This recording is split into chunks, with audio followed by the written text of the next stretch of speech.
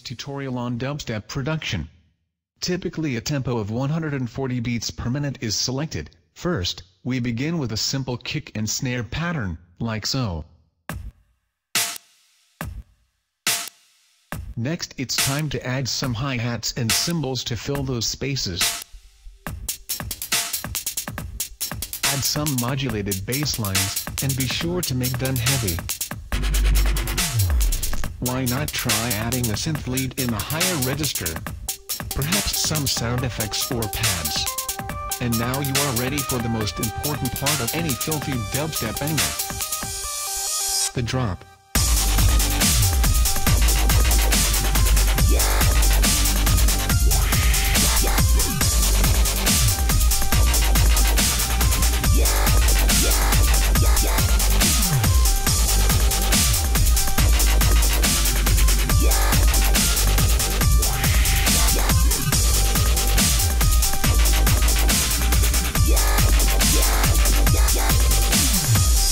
Extra brutality, try adding a beatdown section.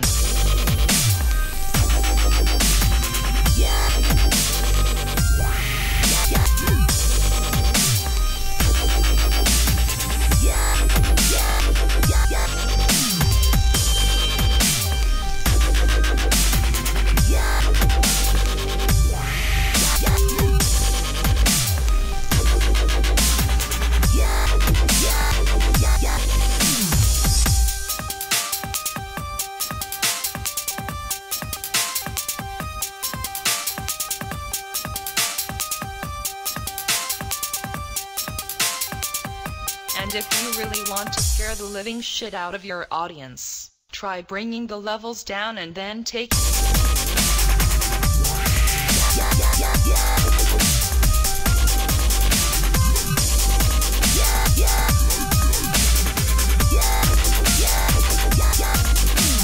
and taking them by surprise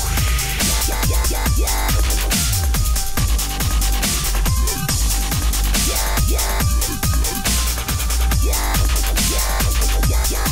yeah.